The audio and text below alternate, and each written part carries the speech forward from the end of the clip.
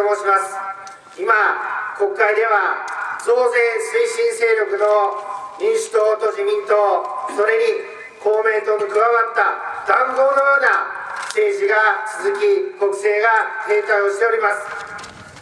そういった規制の大政党既得権を守る勢力に対する反発が大阪の維新の会の大躍進につながったんだと思います。この矢板でも全く同じ構造が出来上がっております。現状維持の主張それを応援する民主自民公明の規制の大政党そして既得権の代表が集まって今の主張を応援しているわけであります。矢板を変える